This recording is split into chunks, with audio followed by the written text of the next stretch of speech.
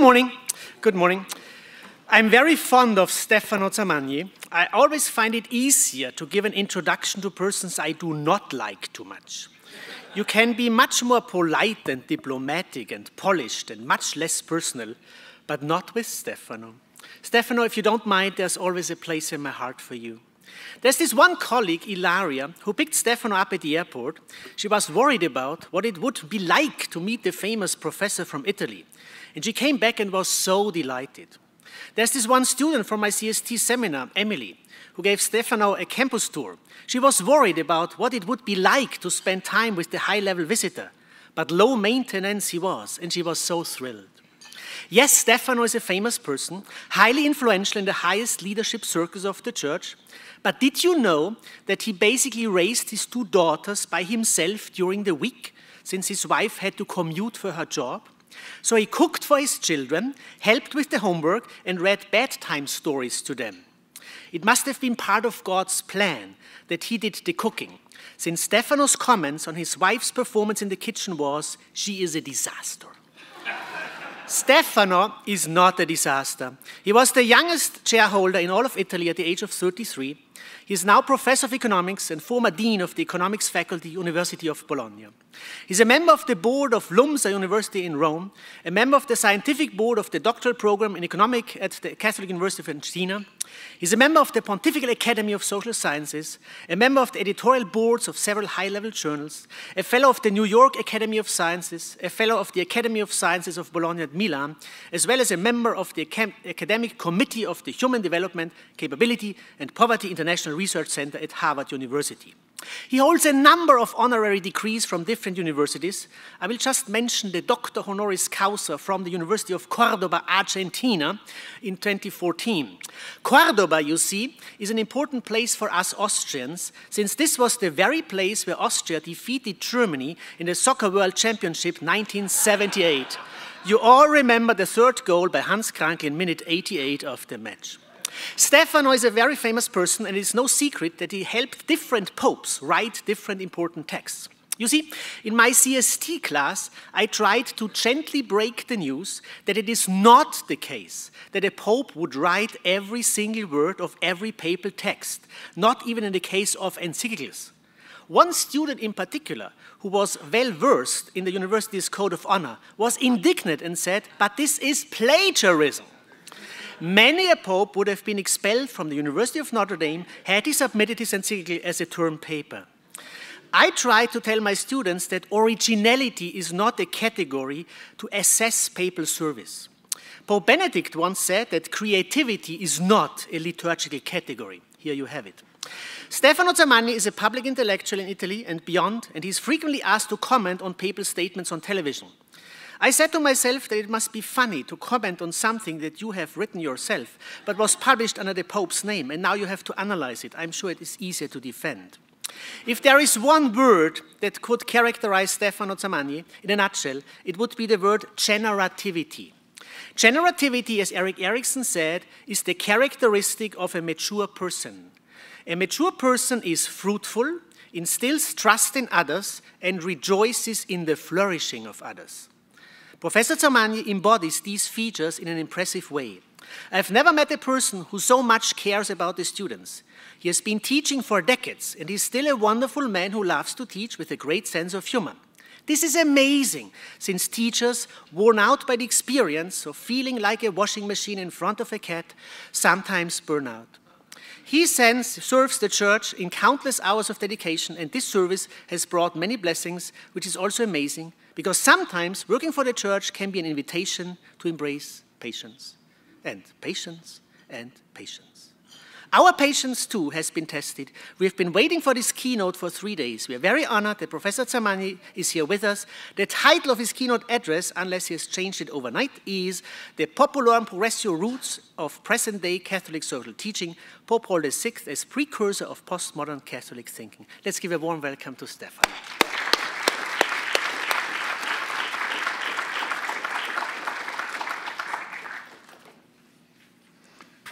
Thank you very much. So now you understand why my friend is called Clemens, because you know the original meaning of the word Clemens.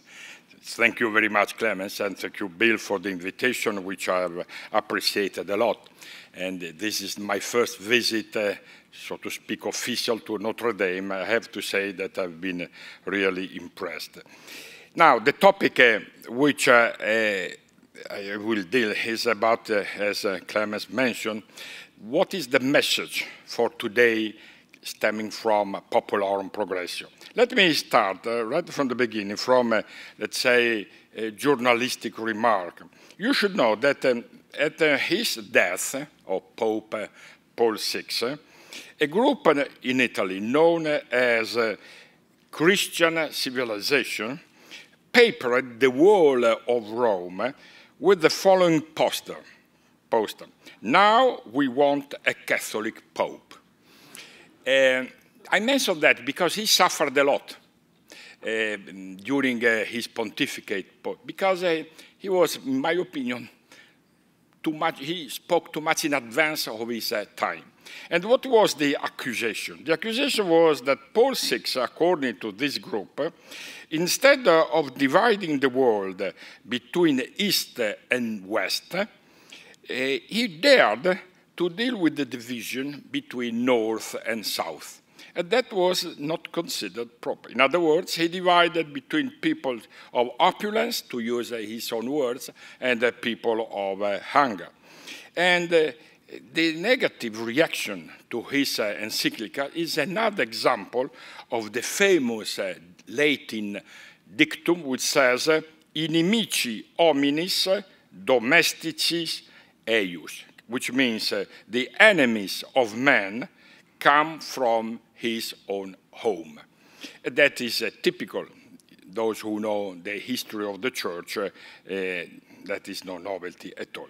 Now, one cannot read, uh, in my opinion, Populorum Progressio without taking into consideration the Pope's speech to the Assembly of the United Nations on October 1965 that it was a memorable speech. And one could say that the Populorum Progressio is, after one year and a half, a magnification of the content of that speech.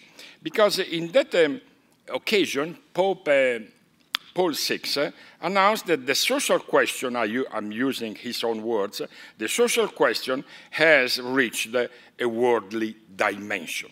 In those days, the word global did not yet exist. So that is why we find expressions such as uh, world uh, of international, etc. But the logic was the same. Now, uh, Uh, Populorum Progressio develops, as I said, exactly this uh, point. And uh, it does so in a way which represents, so to speak, the rerum novarum of modern times. Because as we know, rerum novarum by Leo XIII was essentially addressed to the Western world, to the so-called developed world, the so-called social question. On the other hand, for the first time in 1967, Pope uh, Paul VI opened, extended the social question at the international level. And uh, he pointed out that the new problems are urgent to be solved in that regard.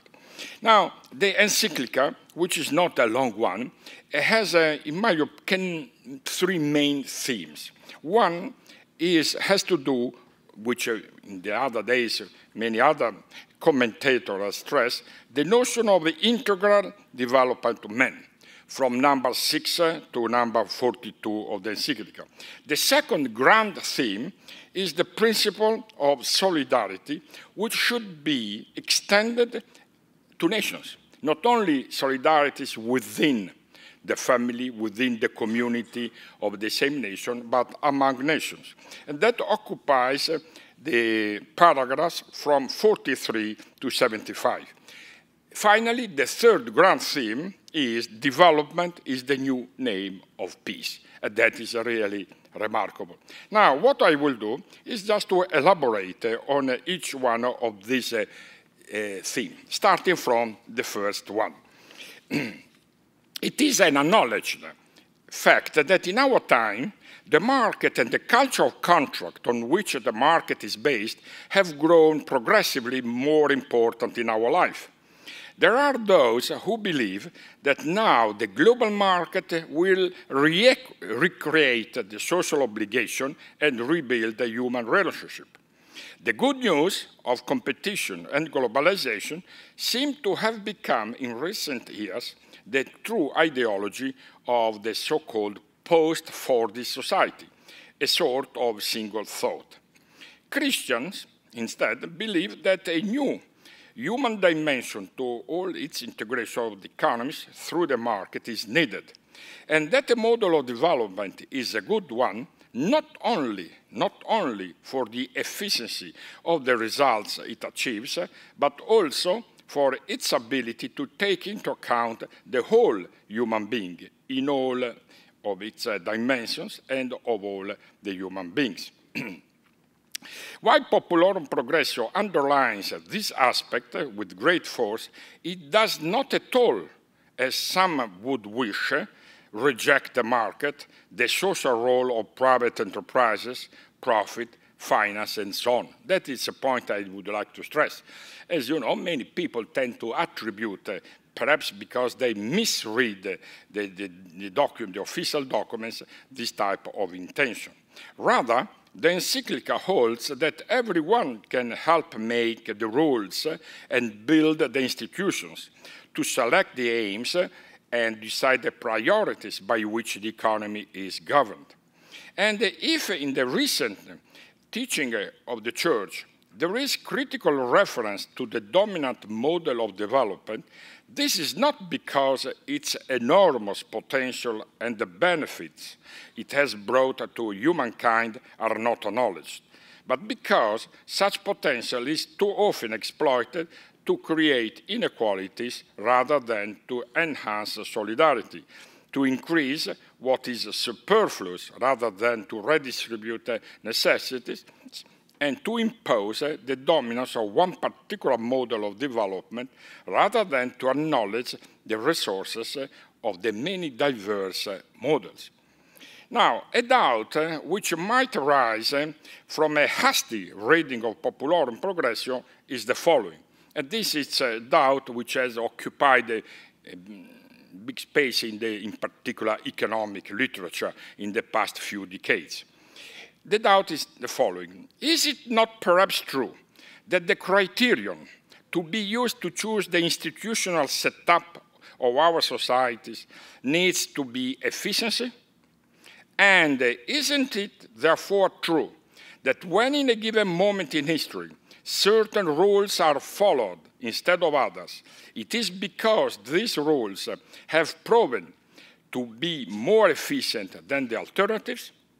Now, this is a subtle matter, and uh, I cannot uh, deal uh, in this occasion with it properly. But I would like to mention two main reasons why the answer to both questions is no. The first reason is that the concept of efficiency, as it is used uh, in economics and in common parlance, is not a primitive concept since uh, it comes from the Bentham's utilitarian principle, which uh, is by no means an economic principle, nor the only possible standard for gauging efficiency. utilitarianism is a, a moral theory, or a theory moral philosophy, is not an economic theory. Economists have introduced utilitarian calculus uh, into it, but uh, utilitarianism comes from outside. Therefore, efficiency cannot be said to be a neutral and consequently objective assessment criterion. Let me recall uh, that um, the market economy existed long before the utilitarian moral philosophy entered economics. And still, it's a common fact that uh, uh, I'm referring to economists, which is the profession to which I personally belong, that say efficiency is objective. No, it's not objective at all, because presupposes the acceptance of utilitarian philosophy. So if you are not dogmatic, why should everybody accept that philosophy and not other uh, philosophical stance? The second reason why my answer is no is that in calculating efficiency, the social externalities, positive or negative as the case may be, of the economic activity are never taken into account. That is what, uh, in another realm of discourse, is called uh, the full cost accounting.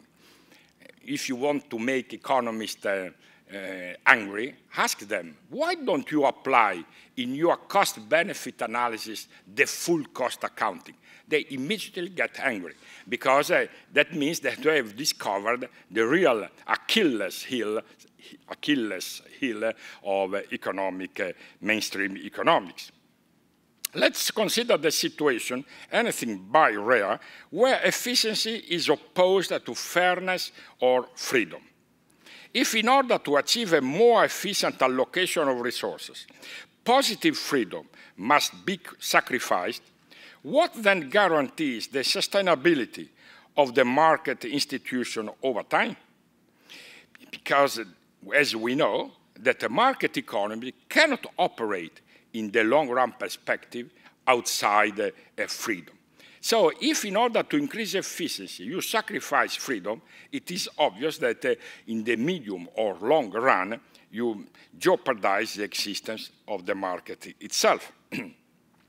now, the message sent by Paul Six uh, uh, to social scientists, uh, not only to economists, is that the renowned thesis that the market, as um, the place where agents are free to choose is self-legitimizing and therefore not subject to moral constraints has to be critically reconsidered. And that is another major point, uh, which in particular in these days, uh, during the pontificate of Pope Francis, uh, from time to time re-emerge.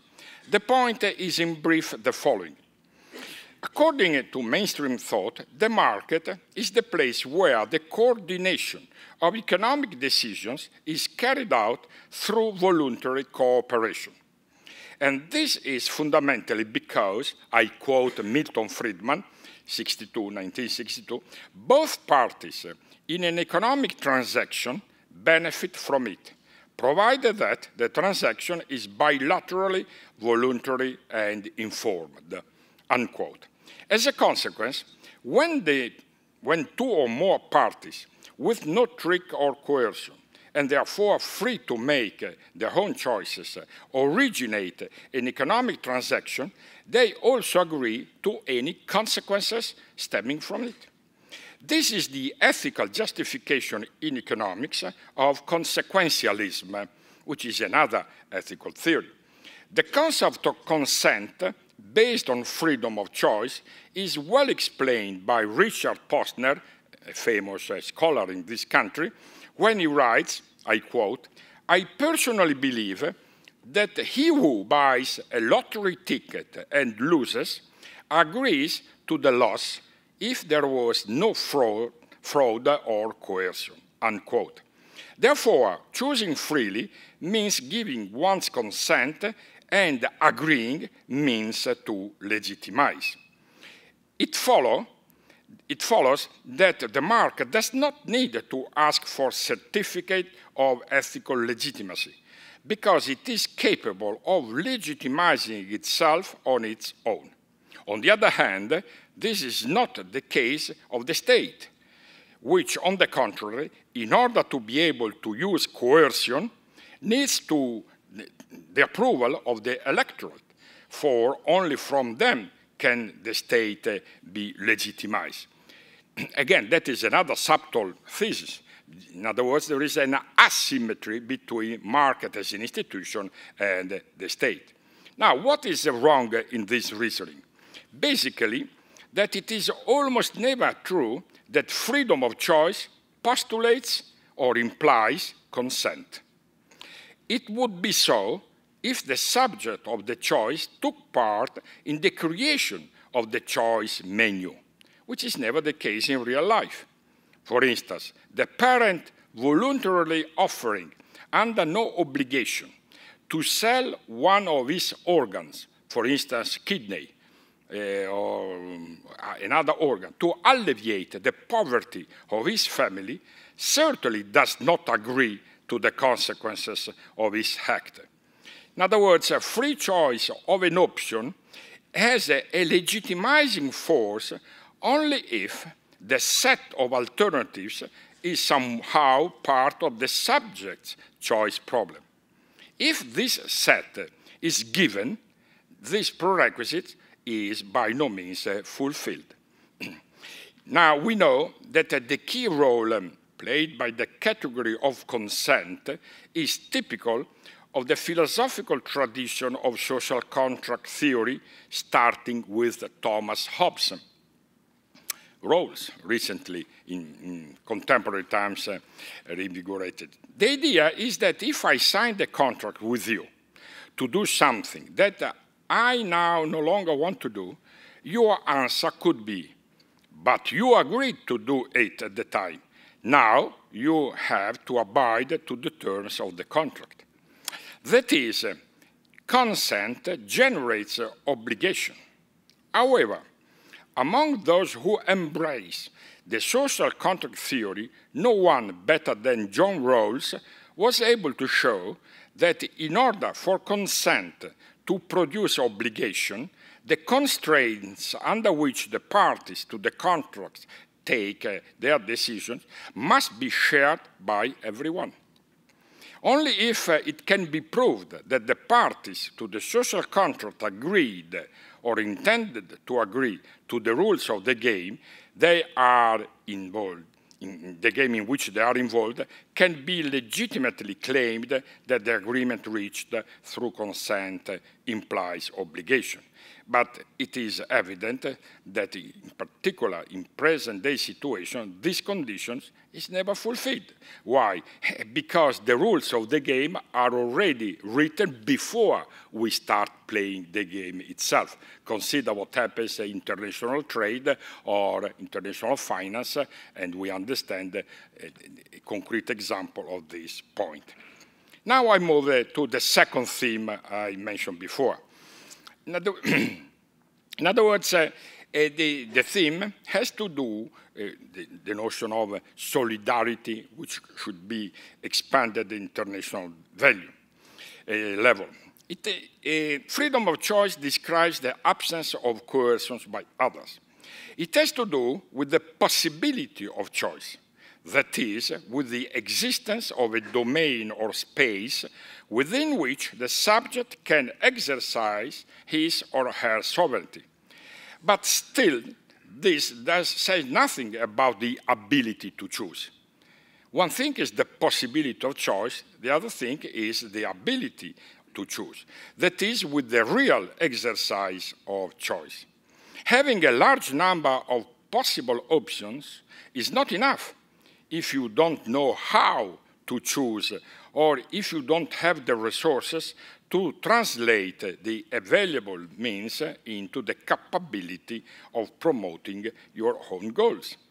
This is the great lesson taught by Paul VI, when he reminds us that the use of freedom is somehow essential to its definition the use of freedom is essential to, is not enough to proclaim the principle itself.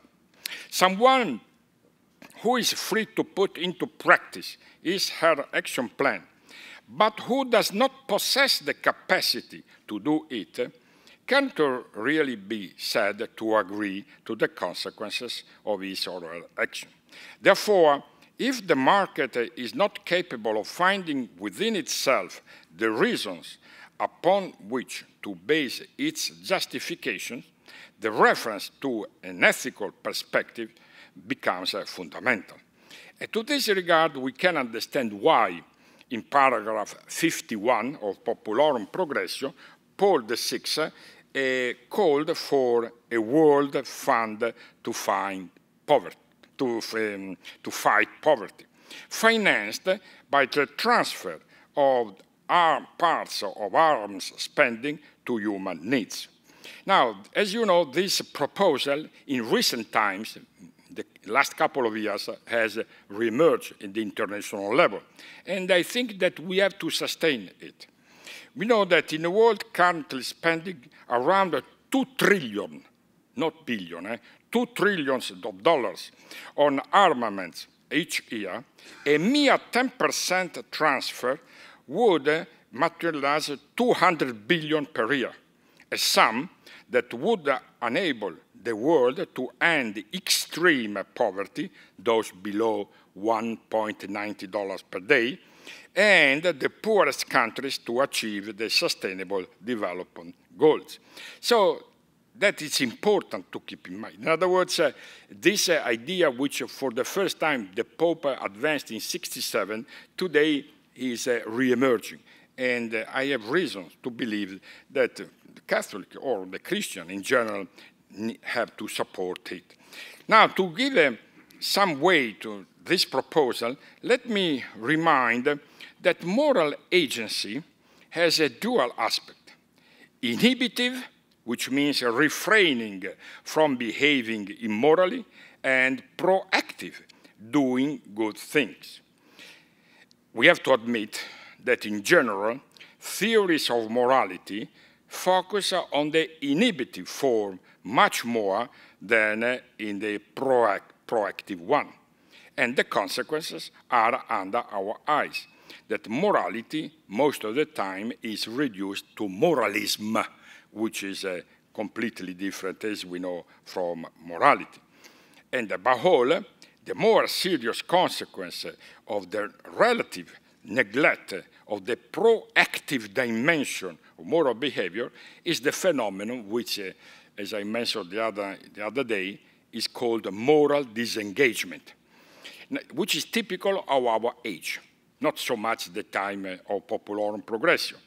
As you know, moral disengagement is a cognitive process that serves to deactivate the self-regulatory processes that normally deter individuals from actions that violate their own moral standards. Now, this is more serious than what might appear, because those involved in moral disengagement, they never say that they object to the moral principles. They accept, they subscribe. But they tend to find excuses, to use this expression, in order to justify themselves for not abiding to the moral principles that they declare themselves to adhere to. Now, this phenomenon has been described in many different ways, both in business ethics. There is a, a new strand of uh, research uh, showing how, in particular, multinationals or bigger corporations are today involved uh, in this type of cognitive process. And there are departments, I know a few of them personally, know, that where they teach the, the higher level staff how to practice moral disengagement. And that is a serious business. Now, I have no time to enter into the details, but when we talk about corporate social responsibility, we have to open our eyes. Because nowadays, nobody is against corporate social responsibility. Nobody. Until 20, 30 years ago, there were objections, as you know, in particular in this country. By the way, corporate social responsibility was born in the States in 1954. 1954. At the beginning, it had many objections. The problem today is nobody is against because uh, they formally accept the principles of corporate social responsibility, in particular the so-called Ruggie's principle. Ruggie famous professor in Harvard of international law who put down the famous seven Ruggie principles, which have been approved by the General Assembly of United Nations in uh, in November 2011, six years ago. But in practice, they have invented forms in order to, in a sense, uh, ridiculize in practice uh, those same principles. And that is uh, more subtle, because in the past there were opponents. For instance, a man like Milton Friedman, you know his famous statement, there is only one social responsibility of companies, to maximize profits at any cost. That was written in the New York Times, and a famous interview in New York Times in 1970. Of course, that was a very strong statement, but at least was honest, because he believed in that, and it was possible to argue.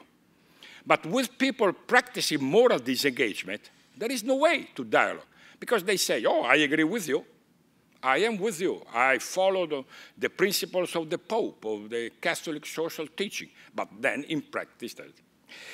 Now I come to my third theme, what uh, I mentioned before, development is the new name of peace.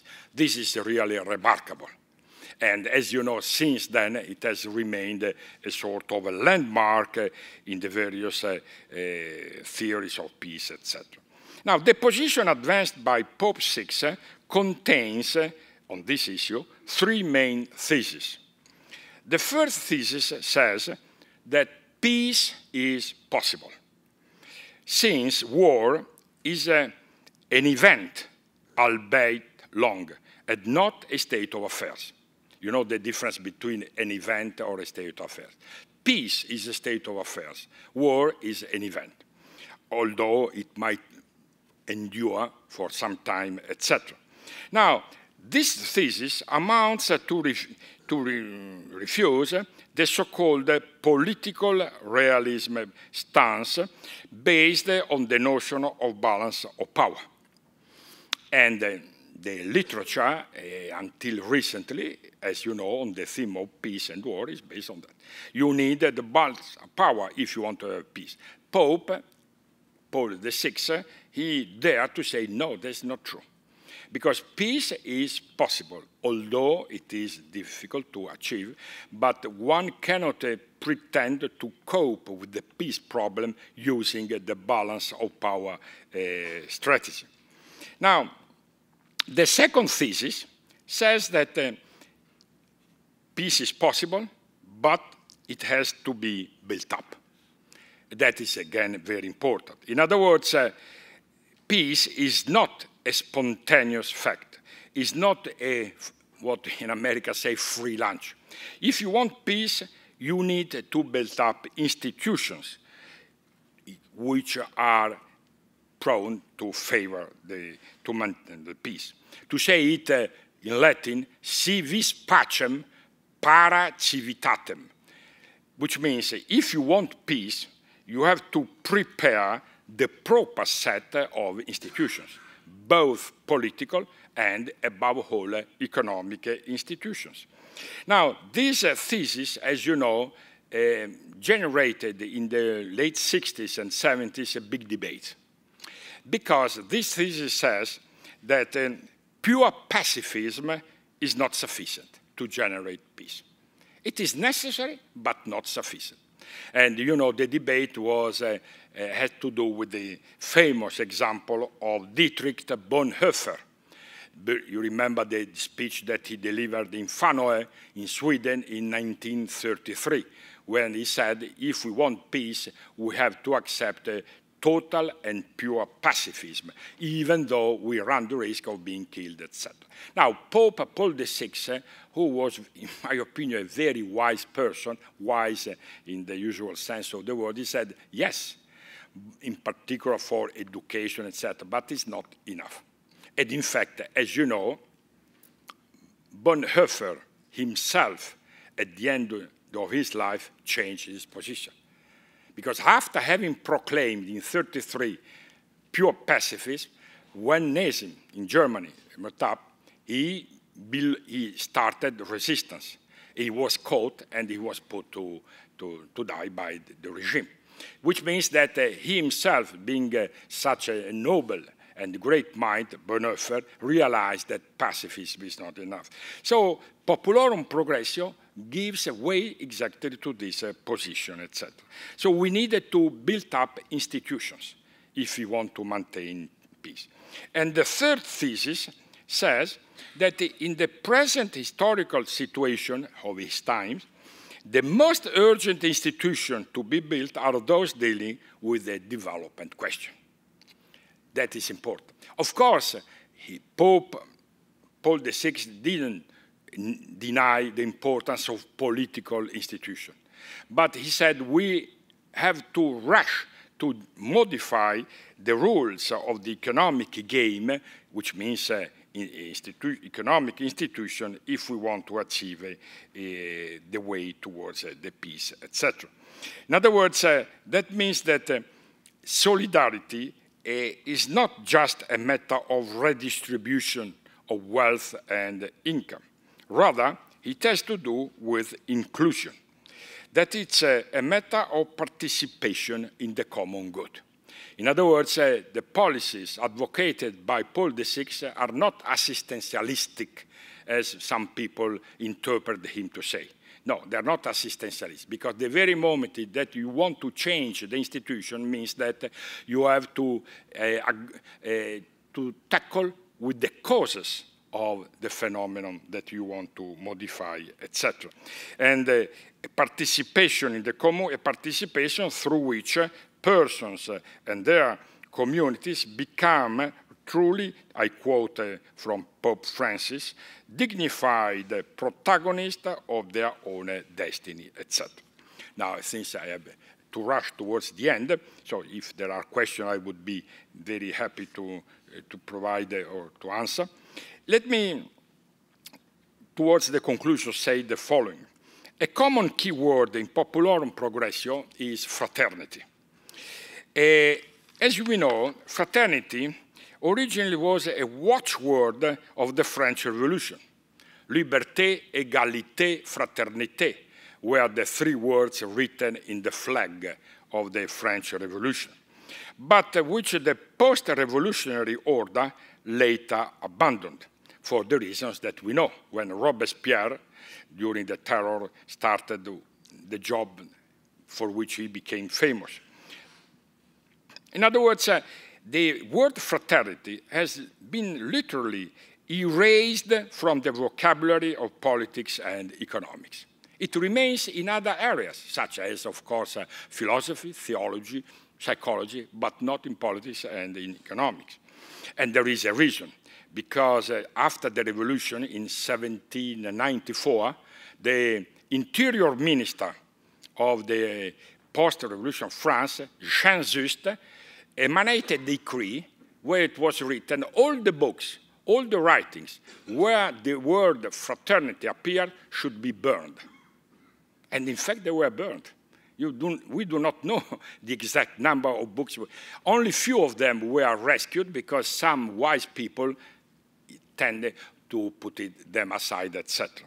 So now, uh, as we know, it was the Franciscan school of thought that gave Uh, this term, fraternity, the sense that it has kept over time.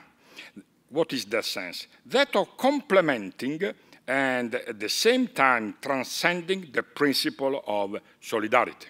We have to be careful about that. What is the difference between solidarity and fraternity?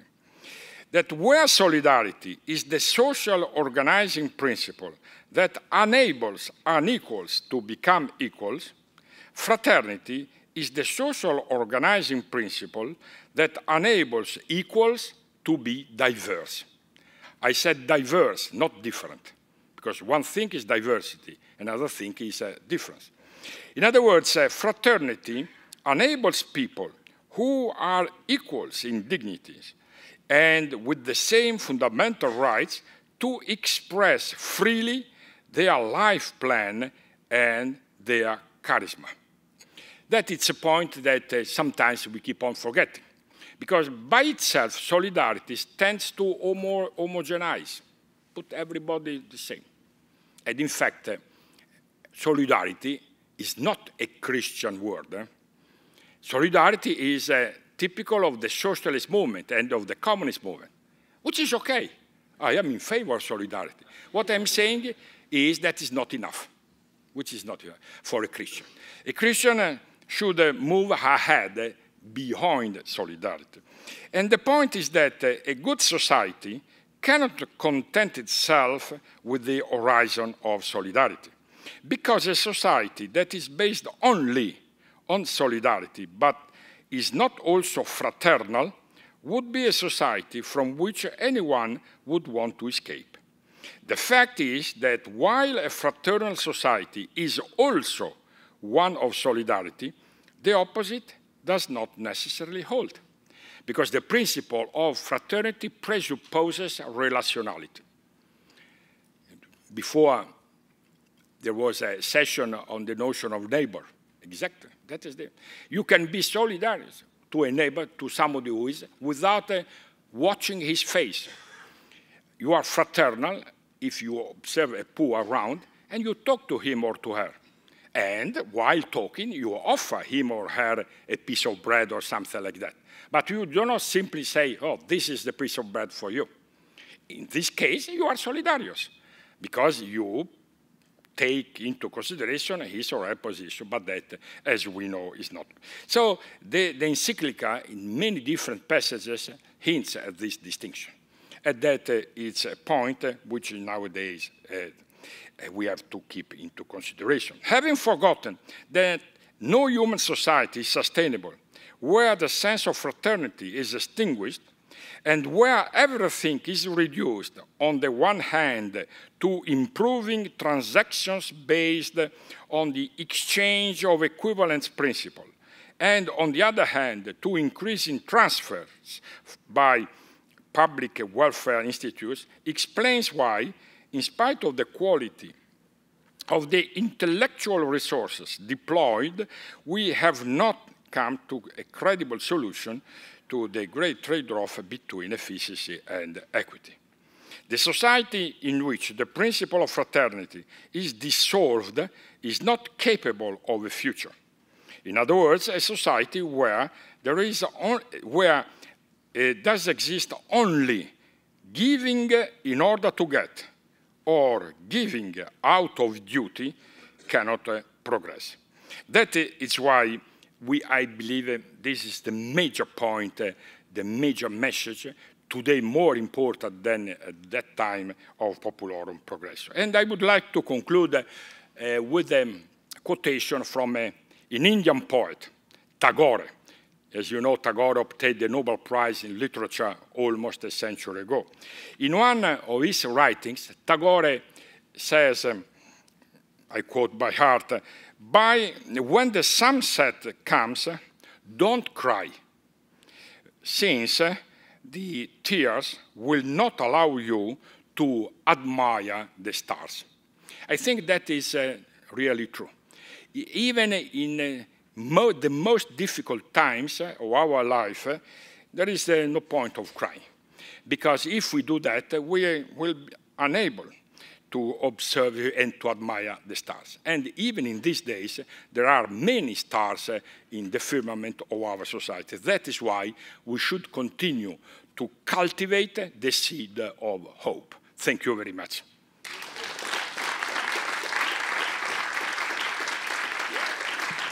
Should I stay here? If there are questions. Thank you very much, Professor Zamagni. Uh, questions, comments, footnotes, complaints, polite. Thank you, Professor, for that wonderful, uh, insightful talk. I always learn from your writing, and to hear you speak is equally. But I have a question. um, how is it that you, you talked about moral disengagement? How does that happen? I mean, you said you, you didn't want to explain it in the paper, but how do you talked about corporations developing a sort of method of moral disengagement? I'm just interested in how that might work.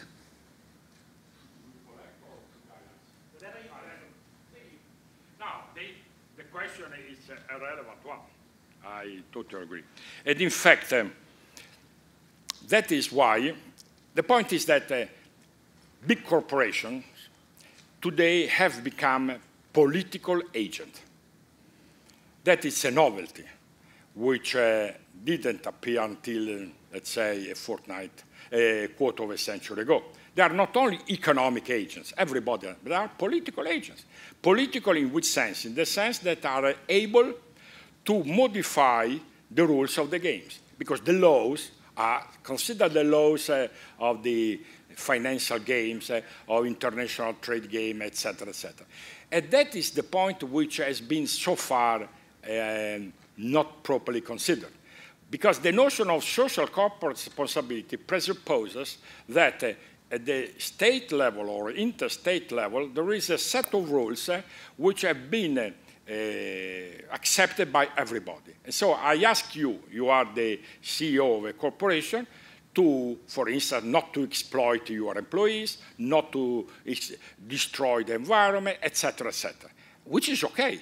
Which is, today, that is not enough because we observe that there are many corporations which apply philanthropic behavior, but they will never accept to modify certain rules concerning, in particular, the respect of international trade regimes in order not to make profit.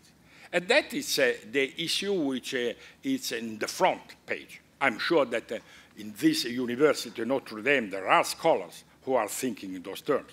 There are difficulties. In other words, uh, to a corporation, it's easy enough to ask money. They will give you money. But if you ask them, look, why don't you modify your organ organizational work in order, for instance, to guarantee compatibility between family life and work life, they would not accept. Or some of them they do. And I am optimistic, eh? because I observe that there is a, a change. Look at uh, the recent uh, interview by Accenture, a famous Accenture. They interviewed 1,000 CEO of the major corporation in uh, uh, 70, 75 different countries. And all of them, in a, of course, uh, implicitly, they said, yes, we realize that we cannot continue to maintain an organizational work which is detrimental to the values of the family, in particular women, because that is the issue of the women, as you know, to the uh, detrimental to the environment, etc., etc. We consider that uh, money giving should continue, but that is not enough, etc. So we have to insist in that. And Pope Francis, as you know, in his own way, eh, because Pope Francis has his own character. He's Latin American. uh, you see, but his ideas are exactly that, to push the world of the corporate, big corporation to move a step forward in that direction. Thank you. Alessandro, in English, please. Yes, uh, thank you for your reflection. Um, you mentioned uh, development is the new uh, name for peace. Uh, it seems to me that one of the greatest cause of conflict in our world is the problem of migration and refugee. Uh, and in Italy, uh, we are struggling with that a lot. In Europe, we are struggling with that a lot. Uh, I wanted to ask you for a reflection about what does it mean to address the migration crisis, knowing that peace uh, needs institutional uh, building. Thank you. Thank you, Alessandro. Now, it, it, is, uh, it is true that nowadays the, the movement, the flows of migrants uh, is a major determinant of this equilibrium. But we have to distinguish between uh, what are called worker migrants and the refugees migrant. Because what is different, the difference is, first of all, in the causes, and secondly, in the effects. Because worker migrants, uh, as uh, I keep on saying, uh, they find uh, their own form of equilibrium after a while. Consider what happened in the last century, particularly in this country. The real problem novelty today is the refugees, who are migrants who escape they do not choose to leave their country. That is what we should be clear. So the question is, what are the root causes of that? And now it's too easy to give the answer. That is why uh, the proposal, uh, Cardinal Tagle last night, he was referring, I believe, exactly to this point, that unless we stop uh, selling the weapons, the arms, uh, to those uh, uh, groups, fundamentalist or not, who engage themselves in the world business, there is no way, no solution. So the mechanism is a perverse one because we, in a sense, do nothing to, uh, uh, to modify the causes. But then we pretend to cope with the effects. But that doesn't work. Could work in the past. Could work in the past when uh, the economic migrants needed help, uh, some uh, initial uh, benefits, etc. But with the refugees, that there is no way. And we run the risk of destabilizing our, our society, our in the sense of Western type of society, because uh, there is no need to be an expert to understand the major impact uh, in the long run perspective. Uh, recently in Europe, the chief of the, eh, the, the, Muslim, eh, the ISIS, he said, every good Muslim living in Europe has to generate at least five children, because then in 20 years' time, we will overtake the whole Europe. Of course, it's an exaggeration, etc., but there is a pinch of truth of that. You cannot deny. So that is why, in my opinion, if we create a new institution of peace, in particular economic institution, but not simply giving uh, the immediate help which is necessary in the short run. But as a strategy, we have to motivate. The idea of what we might call a Paul 6 fund, the global funds, might go in that direction. And that is feasible because it is enough. We have been made calculations, 10%. And 10% of the money spent in the, in the weapons, in the arms, uh, is not an exaggeration. So nobody asked to cancel everything. It would be enough 10%. And you have to create a, an international agency independent from the national countries, uh, for understandable reasons, to cope with that, etc.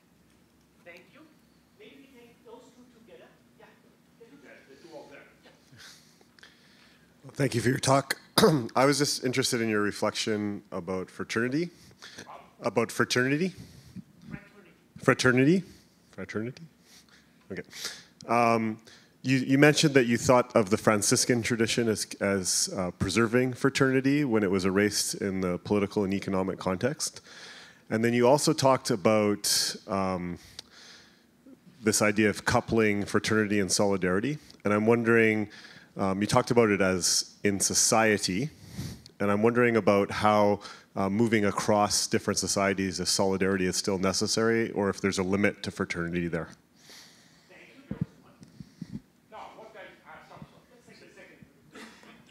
Yeah, so, well, first, thank you so much again for your talk.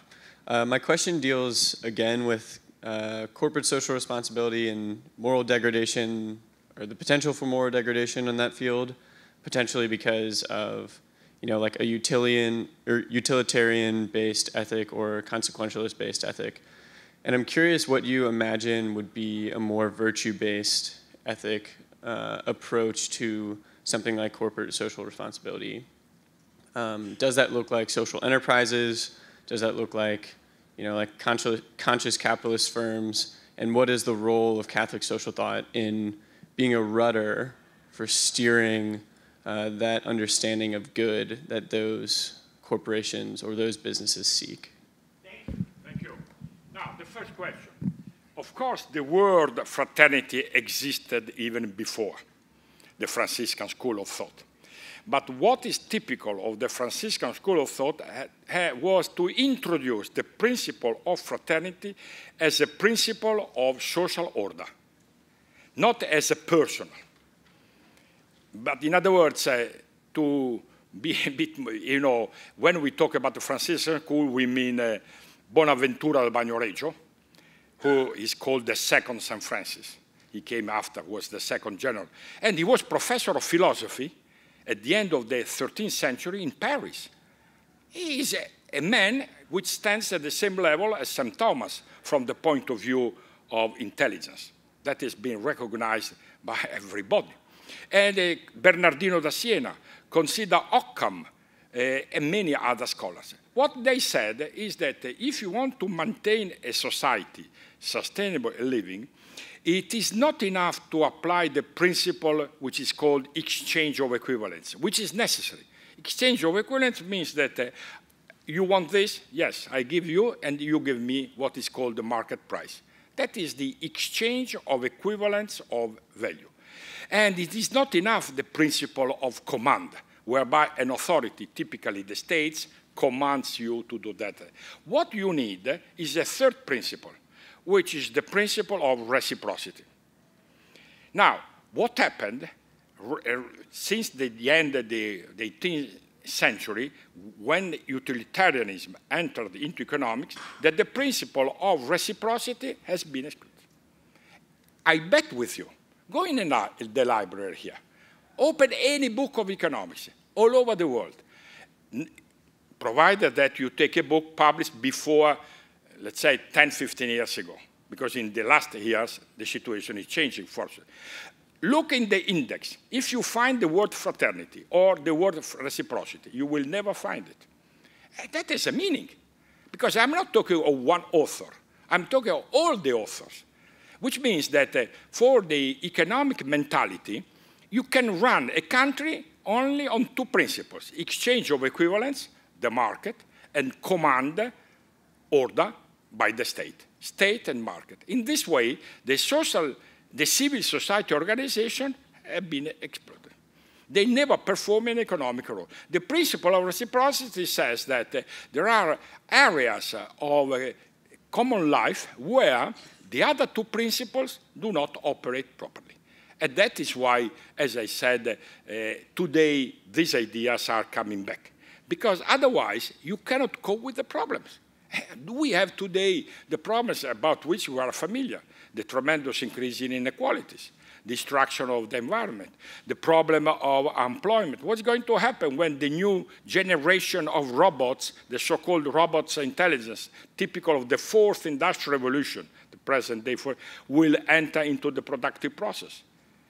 a recent study has proved that 47% of the American, not another country, American labor force in the next 20, 20 years will be expelled when uh, the new generation of robots that Google and Apple are producing in these days, in few years, will enter the productive process.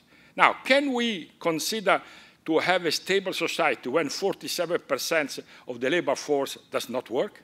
Can you hope to be able to maintain with assistentialistic project? That is ridiculous. So these are the new problems uh, that we have to face. And in dealing with those problems, we realize that the old ideas of fraternity, which uh, in practical terms becomes the principle of reciprocity, in other words, uh, the, principle, by the way, I am always amazed, because for Christians, I'm not talking about other religions, the fundamental principle of Christianity is the principle of reciprocity. Because salvation is a, a gift, but a gift uh, that we have to accept because we can uh, decide not to rescue our, ourselves. In other words, uh, the Christian God does not say, I rescue you irrespective of what you want to do. No, you have to reciprocate, not exchange, but to reciprocate. You have to do your own if you want to be rescued to have salvation. The other question of utilitarian, you know, you, Adam Smith passed away in 1790. The year before, 1789, Bentham, English philosophy, philosopher Jeremy Bentham, published his fundamental book, where the principles of uh, utilitarianism were laid down. And he went uh, to give a copy to Adam Smith, who was an authority in those days. Adam Smith was professor not of economics, eh, but of moral philosophy. And Adam Smith read this book. And uh, the biographer says that he got so angry that the following year he passed away. Because then he wrote a nasty letter to Bentham saying, You are destroying economics. You, uh, you, with your principle, which will, because the, the principle of utilitarianism are beautiful. They convince everybody. I do a lot of experiments with my students. Because from a, a, superficial point of view, the principle of utility says you have to do whatever maximizes your utility. And people say, what's wrong with that? You see, and so that is why Adam Smith was, not to mention John Stuart Mill and many other great philosophers afterwards. But why, for our discourse, uh, this uh, important? Because the utilitarianism does not harbor the notion of common good harbor the notion of total good, not common good. Because one of the principles of utilitarianism is called sum ranking. Sum ranking means make the sum total of individual utilities, which is exactly the notion against common good. When in fact the Pope says, and all the other popes, the good is not only quantitative dimension, but there is all the dimension of human being which is certainly quantitative, but the relational dimension and the spiritual dimension. In the utilitarian, let's say, horizon, you cannot talk of spiritual dimension. They will laugh at you, not nowadays, eh? because nowadays the utilitarians, economists, they keep uh, their high like that because the, you see they have discovered that they are out of history. But until a few decades ago, when I studied in Oxford, you see they were dominating. Said spirituality. What is that about? You cannot measure. What is the utility of uh, spiritual behavior? Nothing, and so does not count. Counts only everything which can be measured, etc. So that is the trouble with utilitarian calculus. Not because uh, it does not have something good. Of course it has something. A pinch of truth is certainly there. The point is that it excludes to enlarge our way of considering the, the, the, idea of common good and true good of the person. Thank you, Stefano. Can you give us one word for the road and then we have to close this session? A word of wisdom since we journey on from here. you know. no. no, but I said that I am optimistic by nature. And I said that that is true. Because you see, if we cry, and you understand the metaphor of Tagore, uh, we cannot see the stars.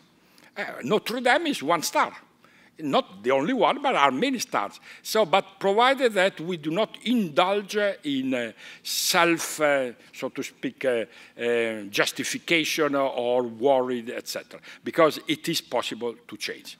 Because whereas animals live in time but have no time, human beings live in time and have time. And having time means being able to change the times. Thank you very much. Beautiful. Thank you.